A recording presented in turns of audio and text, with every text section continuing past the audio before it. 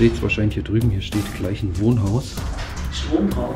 Alter, wie geil ist das? Und jetzt habe ich was gesehen. Leute, guckt euch das mal an. Den Pokal fasse ich nicht an. Also hier steht ja noch richtig viel. Leute, hier ist so ein kleiner Kinderstuhl. Wie gruselig. Hier hängt alles noch so drin, wie es damals verlassen wurde. Moin moin Leute, grüßt euch, das ist wieder der Onkel David. Herzlich willkommen auf meinem Kanal. Ich bin gerade in der Nähe von einem kleinen Bauernhof, was wieder mitten im Ort steht. Mir geht die Düse schon wieder richtig dolle. Der Stift guckt schon so weit mindestens. Ja, wenn ihr da Bock drauf habt, dann begleitet mich. Wir starten diesmal direkt in der Scheune. Los geht's! Hier waren mal ganz viele Kühe gestanden, Leute. Ein riesiger Kuhstall. Bemerkenswert, gell? Ganz toll. Aber der Kuhstall ist nicht das Objekt der Begierde, sondern das Haupthaus. Das Blöde ist, wir befinden uns wieder mitten im Ort und mir geht richtig die Düse. Auch nach den ganzen Videos, ich bin immer noch ängstlich, wenn es um Locations geht, die mitten im Ort sind. Ja, hier haben wir schon das erste Gefährt stehen. Und da geht es ins Haupthaus, oder? Obwohl, hier haben wir ein Waschbecken mit ganz vielen ja, Utensilien noch. Stromversorgung. Aber es geht kein Wasser mehr. Da kommt auch kein Wasser. Dann gucken wir hier rein. Hola. Das sieht interessant aus. Das sieht richtig geil aus. Und dann gucken wir erstmal links hier. Da haben wir eine Art Badezimmer. Das gefällt mir. Mal so einen alten Heizstrahler.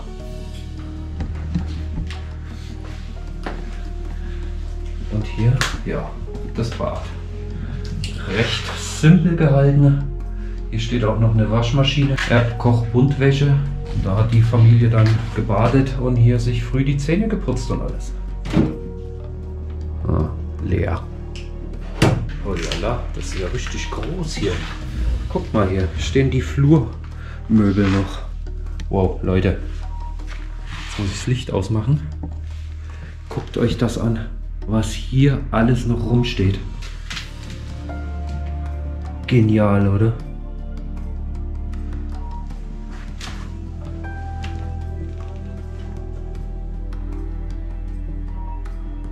Hier bin ich schon wieder echt sprachlos. Das ist geil. Das gefällt mir richtig gut. Hier können wir das Licht wieder einschalten.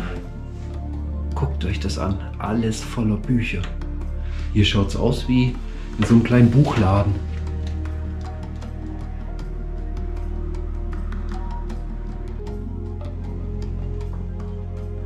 Was mich nur wundert, sind diese ja, Bohrungen hier.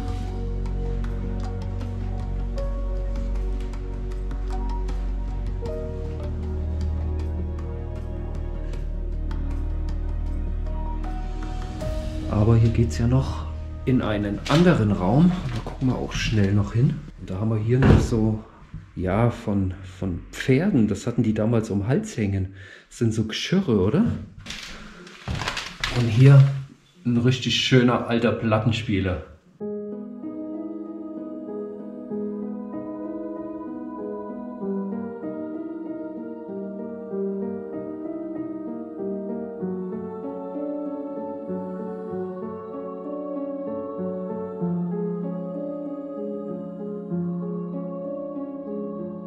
Also das gefällt mir schon wieder. Ja, bin ich schon wieder ein bisschen happy.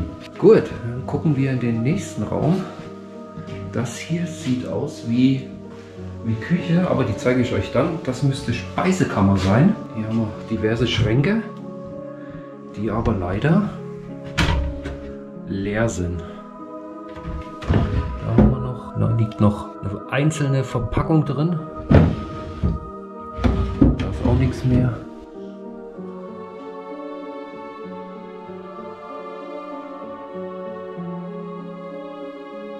Ja, und das ist der Küchenbereich. Das sieht richtig geil aus. Kleiderbügel, hier hängt noch die Kochschürze. Eine große Dunstabzugshaube. Ja, der Herd fehlt. Besteckkästen fehlen auch. Da haben wir noch Salz und Zucker. Gegenüber ist die Spüle und da haben wir doch tatsächlich noch Besteck.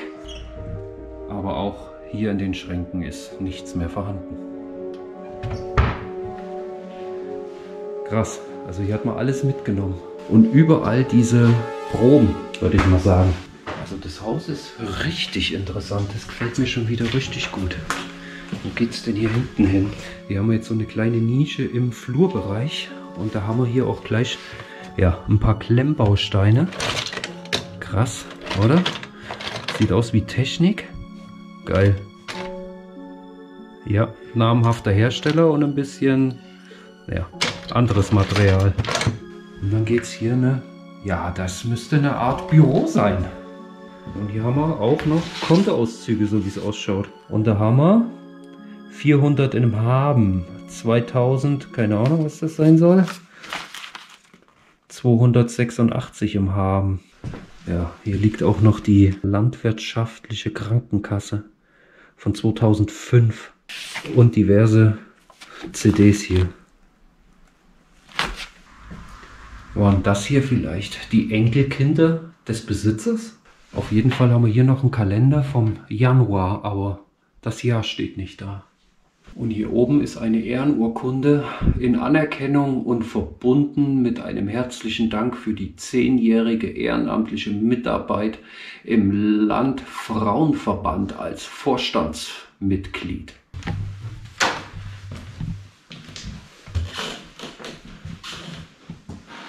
So, wow.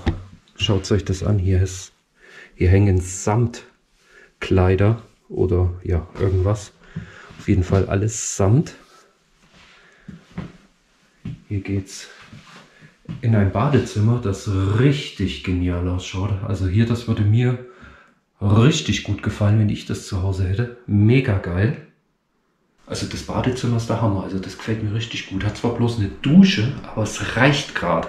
Momentan mit Baden wird eh schwierig mit den steigenden Energiepreisen. Ich habe das Licht jetzt nur mal ausgemacht, weil ihr seht es wahrscheinlich hier drüben, hier steht gleich ein Wohnhaus und hier haben wir das Schlafzimmer. Gut schlafen, besser leben. Aber ansonsten, ja, nichts weiter. Weiter geht's auf der Reise. Ja, von da sind wir gerade gekommen. Dann haben wir hier eine Toilette. Und hier ist wieder ein kleines Zimmer. Da steht hier so ein großer, ja, das müsste irgendwie zum Auskochen von Früchten irgendwie so Töpfe sein. Die habe ich auch daheim, nur ein bisschen kleiner. Da auch wieder so Bohrungen. Und hier haben wir eine Gefriertruhe. Die ist aber leer. Und da ging es auch auf den Balkon. Und da haben wir auch noch einen Schrank Bettwäsche, Bettauflagen, okay. War das hier vielleicht eine kleine Unterkunft? Wenn sowas da hängt? Hm.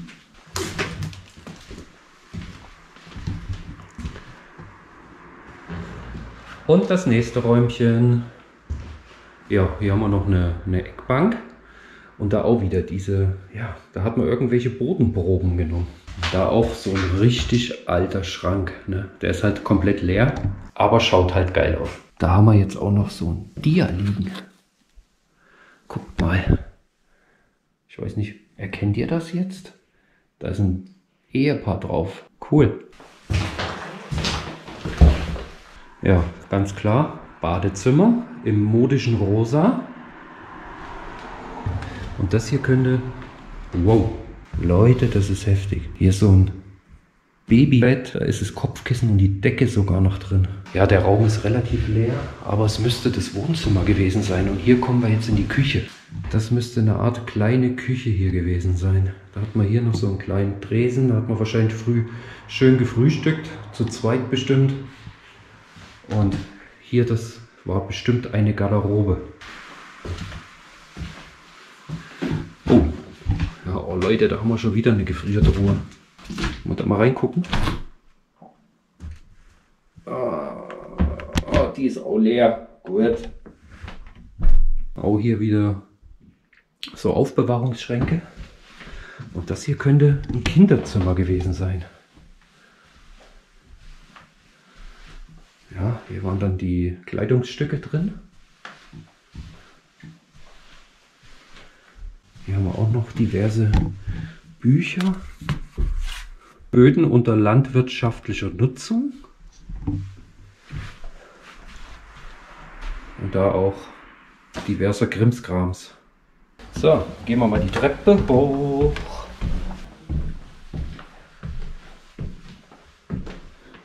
Leute, hier sind wir direkt auf dem Dachboden. Guck mal, hier haben wir noch Lautsprecher. Das müssten doch Pioneer, ja? Geil. Die habe ich damals auch gehabt in meinem Auto. Krass. Da haben wir auch noch Schneeschuhe. Da ist so eine Makita Power Station. Krass. Da steht noch ein Home Trainer. Und keine Ahnung, was das da ist. Da hinten noch ein Grill. Geil. Also hier steht ja noch richtig viel. Okay, der ist leer. Gut, dann gucken wir hier mal noch ein Stockwerk hoch. Haben wir irgendeine Aquariumspuppe? Oh, ja. Alter, ist der voll. Ist der voll. Heftig. Leute, hier ist so ein kleiner Kinderstuhl. Wie gruselig. Das ist so ein Puppenhaus. Abgedeckt. Leute, guckt euch das an. Das ist einfach mal so ein Puppenhaus. Übelst. Ja, haben wir hier noch irgendwelche Schrankelemente. Da hinten haben wir so einen Kaufmannsladen. Und das ist ja auch mega, oder? Da ist einfach mal ein Fenster auf dem Dachboden, aber kein weiterer Eingang da rein. Ja riesig hier oben.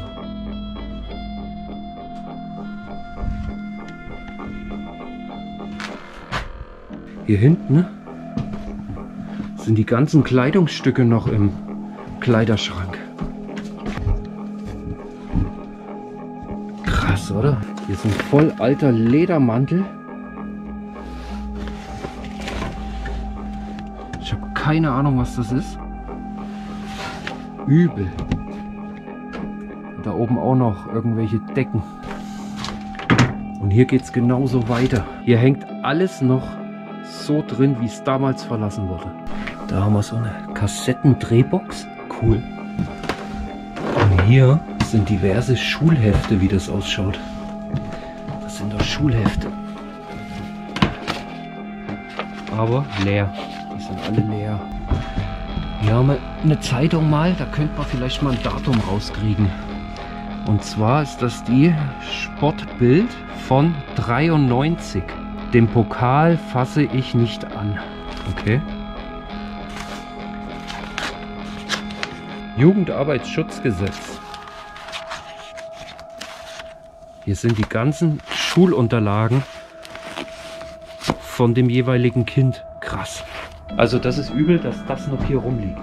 Und jetzt habe ich was gesehen. Leute, guckt euch das mal an. Hier steht eine komplette Eisenbahnanlage rum. Da haben wir noch einen Teil von der Schiene. Da ging es rein in den Tunnel, dann da raus und da wieder rein in den Tunnel und da wieder raus. Das ist jetzt schon wieder geil. Das gefällt mir richtig gut. So eine alte Eisenbahn hat was. Okay, dann gehen wir wieder runter. Wir haben ja jetzt in dem Stockwerk auch noch zwei, drei Räumchen, die ich euch auch noch zeigen will. Alter, was war denn das? Mach mal. Strom drauf. Alter, wie geil ist das? Leute, habt ihr das gesehen? Hier geht der Strom noch. Hier. Machen wir natürlich wieder aus. Hier haben wir gleich ein Bett. Hammer, dass der Strom hier noch geht. Also damit hätte ich ja wieder nie gerechnet. Aber hier auch wieder so schöne alte Holzschränke, ne? Leute, wenn man die kauft, die sind richtig teuer. Und hier, ja, vergammeln sie leider wahrscheinlich wieder.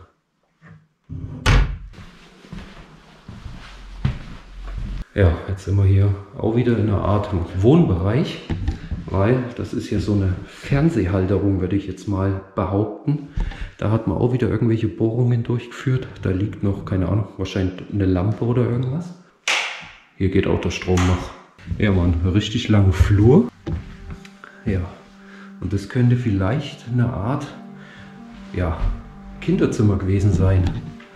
Gott hat seinen Engel befohlen, über dich zu wachen auf all deinen Wegen. Sowas würde ich meinem Kind ins Kinderzimmer schreiben, wenn es noch klein genug wäre. Und auch hier haben wir so eine Kinderspielschachtel mit irgendeinem Spielzeug.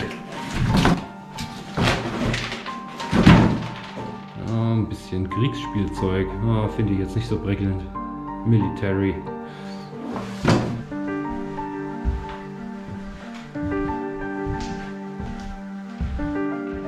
Und dann kommen wir hier in eine Küche. Und Leute, die Küche schaut mal mega cool aus. Also richtig genial, schön eingepasst mit der Dachschräge hier. Da haben wir auch noch ein paar, ja, so Bierkrüge. Da die Ablagen fürs Cerankochfeld. Der Herd. Oh, ja, der ist nicht mehr so lecker. Aber sonst eine mega schöne Küche. Ja, da war mal ein Kühlschrank drin. War noch ein Handschuh. Ja, die Spüle.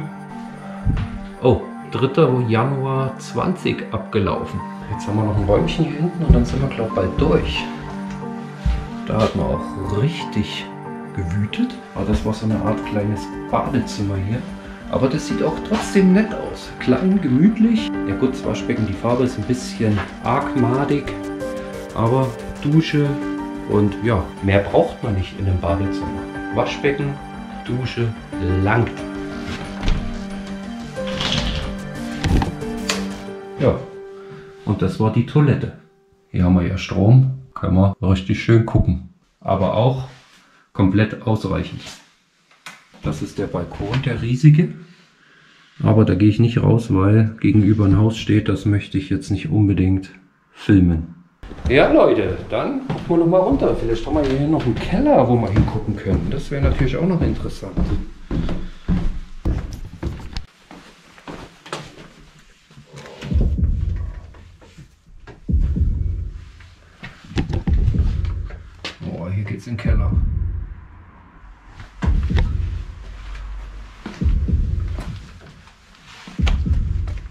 Der ist gar nicht groß. Leute, da ist gar nicht viel. Hier hängen ein paar Sachen, ein bisschen Holz und alles schon modrig. Hier muss ich nicht rein.